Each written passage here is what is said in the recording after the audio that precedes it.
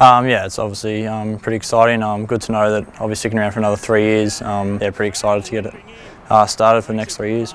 Going home factor was um, in the back of my head, but um, you know the club culture around here and um, you know playing Adelaide Oval was pretty cool.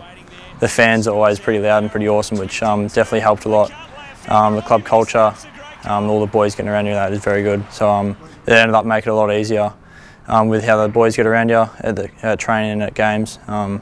And how the form of the Maggies and that has been going as well. So we've got pretty good depth at the club. We've got a pretty young group, um, pretty talented young group as well. Um, as you can see with our first years, they're very talented young players, and um, so uh, the club's got a lot of depth in its uh, club, and um, yeah, like pretty exciting times coming ahead.